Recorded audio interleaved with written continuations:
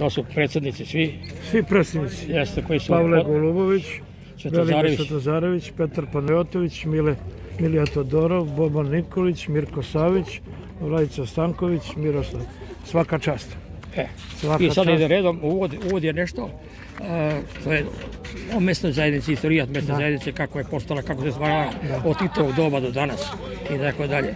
Da smo, evo da, to što šta smo radili. kako tako smo- dalje. i Dobro, tako- to ćemo Ovo što je najvažnije, uzeti, da. ovo što je najvažnije. Recimo, vidite sada, krećemo sa ulicama, svaka ulica ima svoju, svoju stranicu. Jeste, Petra, nema više, nema više ulice Kralja Petra, Titova ulice i tako dalje. Mi imamo ulicu, neko se je dosetio pametno i rekao ulicu srpskih vladara. Pa sam ja krenuo od Nemanjića, Karađorđa, Obrenovića i Karađorđevića. Novih. Bravo, to je ulica Srpskih. E da. sad mi recite, kako ste se rešili ovo da, ko vam je pomogao, ko je izdavač? Pa ja sam to pre dve godine zamislio, ali sam počeo da radim kao za ceo grad. Međutim, to je toliko obiman materijal da ja u 83. godini ne mogu to da radim. E, imate 205 ulica, novih plus 68, to je za mene mnogo.